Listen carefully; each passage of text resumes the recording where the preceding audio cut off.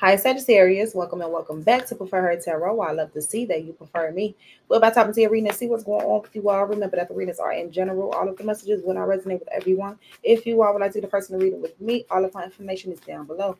Let's get into this reading, Sag. Remember to hit the like button for me if you haven't already. Subscribe and hit the notification bell. Sag, I don't really like asking for, don- for donations. Yes, of course, I accept them. Um, however, I'm looking for you all to join me when I do live personal readings. Okay. They are a little bit, they are much lower than the ones that I charge for pre recorded. Okay. So, overall energy for the sign of Sagittarius, please. And thank you. Purchasing personal readings help this channel grow. Okay. It helps me keep going. Overall energy for the sign of Sagittarius, please. And thank you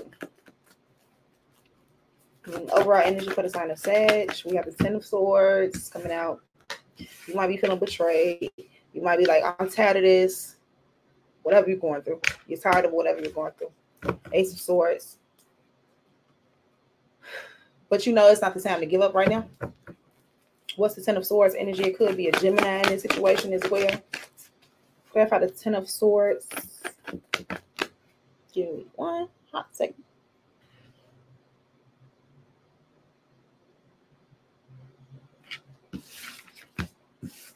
Hold on. My bad. So we have the three of wands, the four of cups, and then we have the knight of wands.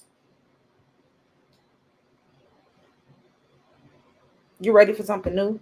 You're tired of dealing with what you've been dealing with. You're ready for some type of risk, but at the same time, I believe um, someone offered you something, right? Someone probably came around or came back around. Someone offered you something. You accepted the offer, and you like, look, why are you try to play me like that? Or why did you play me after me being open to what you had going on? Yeah, it might have been a, an ex lover because it seems like you're ready to block out this person now. So, most important messages for the sign of Sagittarius, please, and thank you. Most important message for the sign of Sag. We have the Two of Pentacles in reverse. I'm here and stop trying to figure them out. Stop trying to control the situation. Let it go. It ain't even worth it. The Three of Pentacles at the bottom of the deck. Um, maybe you jumped in into a relationship or a collaboration a little bit too soon. More message for the sign of Sag. We have the Emperor card, manning up, womaning up, bossing up type of energy. Um, being clear, being decisive. We have the Tower card at the bottom of the deck and the Queen of Cups. So a relationship may have shifted. The way you have, the way you feel or the way you felt about someone has changed or vice versa. Someone could have been a third party situation you probably don't want to deal with it.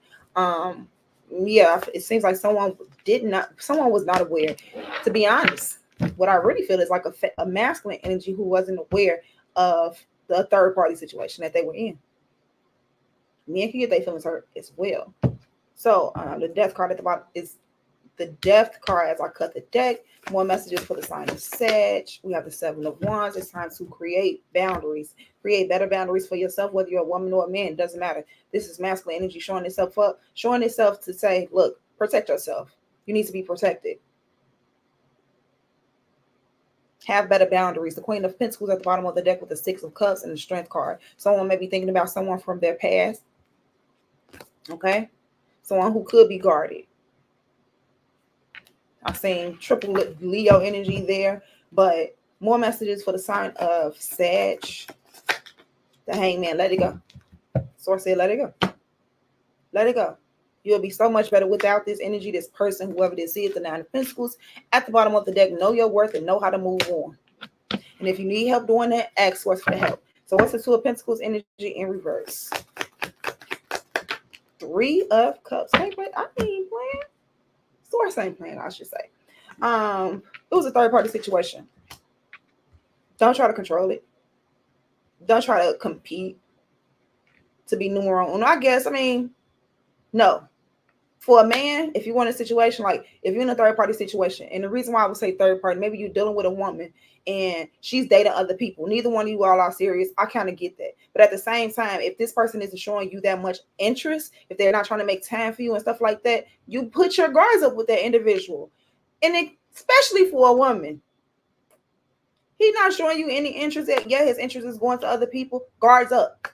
Guards up, let it go. It doesn't matter if you're a woman or a man in this situation. Don't care. Guards up, let it go. Let them play. Two of Pentacles in reverse. Why try to control them? Let people be who they are. Clarify the Emperor card. Who am I talking to? Sag. Um, we have the yep. Get cold with it. So we have the King of Swords clarifying the Emperor card. Your uh this masculine energy is showing up within within you once again masculine whether a woman or a man here this energy is showing up to defend you it's like the ego to be honest protecting your heart the ace of cups at the bottom of the deck you want something long term you can have that so with that being said don't accept less than from a person um, or from an individual or energy where you know it's not getting it's not going to take you to where you want to go it's not going to give you what it is that you're looking for for the long term right get smart about this be more um, intellectual here with that King of Swords. Even if that means you're going to get a little cold with the person. What's the Seven of Wands? You said what you said. We have the Ace of Wands. Ain't no sleeping with this person. There ain't no sleeping with this person. What are we talking about here? If that's what it, it seems like, it could be a situation where that's all you all communicated about. Well, that was the only reason why they were calling you. And once again, women do it too. Call me in just for they, you know what? So however it is, it's like block it out. See if they really like you. I think you already seeing a lot of betrayal from this individual, this energy. Knight of Swords with the Hierophant card and the High Priestess together. So I seen them together in the last reading that I was in. I see I'm seeing them together in this reading, even after shuffling the cards. That Hierophant and the High Priestess card together is showing me that people are becoming more spiritually enlightened and it's about standing on that and continue and continuing to ascend, allowing source to help you as well, getting more communication with source and realizing where you may have been hurting yourself. I see that as well. Allowing this type of energy to happen is allowing yourself to be hurt because it's like this not it's, it's not what you really want. Block it out. Put up your guards towards it. Love yourself first. What's the hangman? What's the hangman for the sign of um? Hmm. And when they do come to offer, you don't have to accept it. You better watch these people first. What's the hangman? The justice card. This will bring in some type of balance for you. Justice. You letting it go. You watching and see how things play out instead of without you having to do anything. And it might just be over with the Ten of Swords energy because, like I said, that leaves, that seems like betrayal. The Queen of Wands is at the bottom of the, of the deck. There you are with the Page of Pentacles. I said someone may come in with an offer. Page of Pentacles, or you know you you are deserving of more. You are worth more. So just be mindful to control your energy, control your emotions, even when things are not going your way. Remember to know your value. What's the justice card? Libra energy. Knight of Swords oh yeah, this might be holding back your communication or always going towards this indiv- individual or this energy or always being the one to initiate things. Knight of Swords. Tower card. Someone's feelings is changing. What's the Ace of Wands? The Five of Swords in reverse. Someone wasn't playing fair. Five of Pentacles that's why you were probably feeling left out, or vice versa, someone feeling left out, feeling like they wasn't good enough, feeling like they wasn't receiving what it is that they wanted in, in the situation. A lack of reciprocity here because someone wasn't playing fair.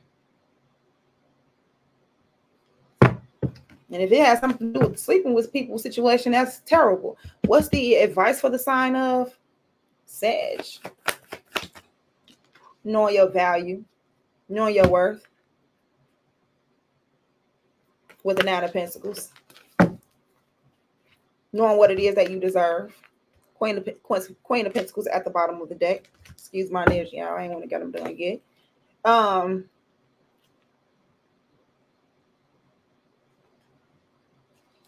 someone's thinking more about the long term, like I said. So it's not about instant gratification here. What is the Nine of Pentacles?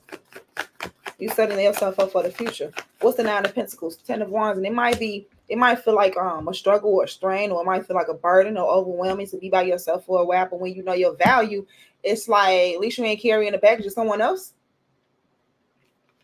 Maybe it's time to rest on a relationship right now or choosing to love someone right now. Maybe it's time to focus on you. Because focus on focus, focusing on someone outside of you is becoming a little toxic. And I see see that with the devil card.